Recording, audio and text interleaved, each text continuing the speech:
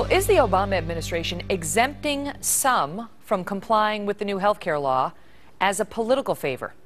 The chairman of the House Oversight Committee, Darrell Issa, is suggesting that.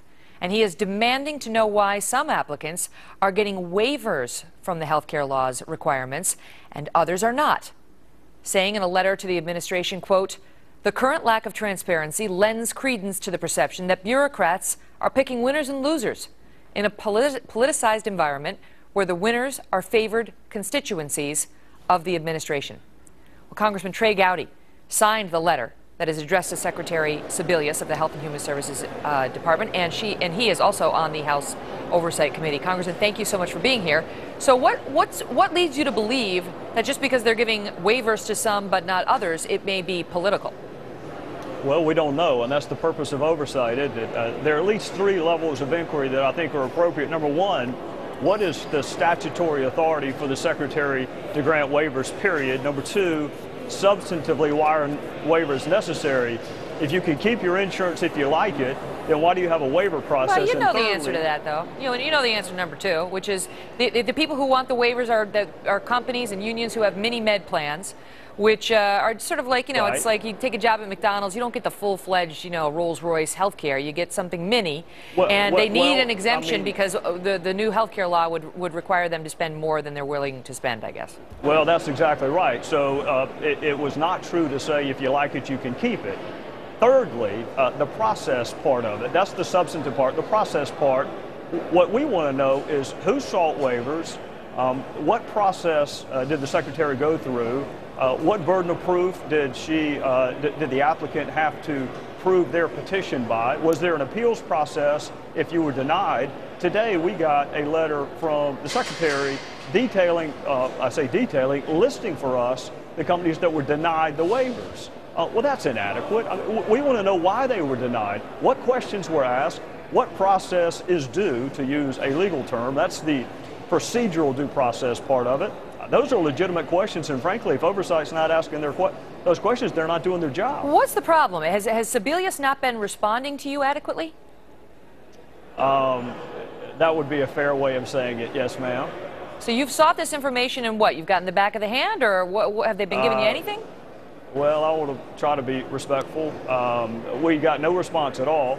Um, and today, uh, I learned that we got a uh, very terse uh, response, simply a listing of who was who, who received rejection letters, so to speak, or denials. But that's wholly inadequate. I mean, Congress has an oversight responsibility. I, will give you a juxtaposition. Arne Duncan has been before the Education Committee four times. Uh, we want Secretary Sebelius or her designee, frankly, to come answer those three questions. What's your statutory authority for doing it? Why have there been over a thousand waiver requests of over two million employees? And tell us about the process. If, if but, but, let me ask you this, Congressman. Why do you what, what what about this smacks of, of politics to you when the administration says number one uh, that it has approved 94% of the waivers requested. So only 6%, according to them, got denied.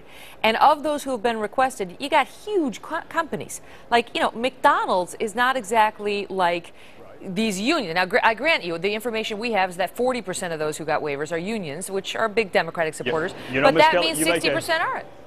You make a wonderful point, and perhaps we should subpoena you before the committee because you've given more of an explanation than the secretary has. Uh, so, I mean, yeah, 94%, it, it, it, that's good evidence for her. So why she won't come and explain that and lay out the, the, the case that you just laid out. Uh, I also, I do think it's important to ask about the 6%, and, and that's on the process side. On the substantive side, it is fair to ask why so many companies are seeking waivers.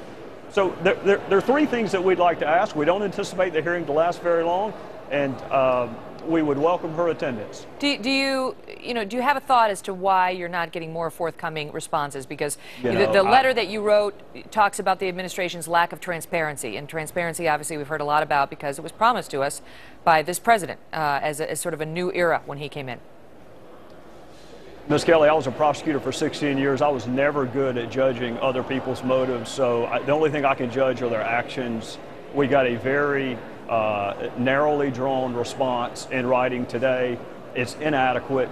Uh, we're going to keep asking these questions uh, it would be in everyone's best interest, and most importantly, the interest of the American public, so they can see whether or not there is any reason for concern.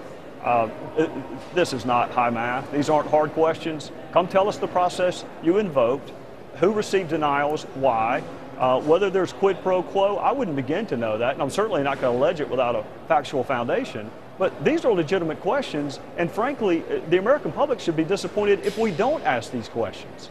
Congressman Trey Gowdy, thank you so much for being here, sir. Yes, ma'am. Thank you. And don't don't don't even think about subpoenaing me because I, now we have exhausted my knowledge on the health care waivers. We may anyway. See you, sir. Yes, ma'am.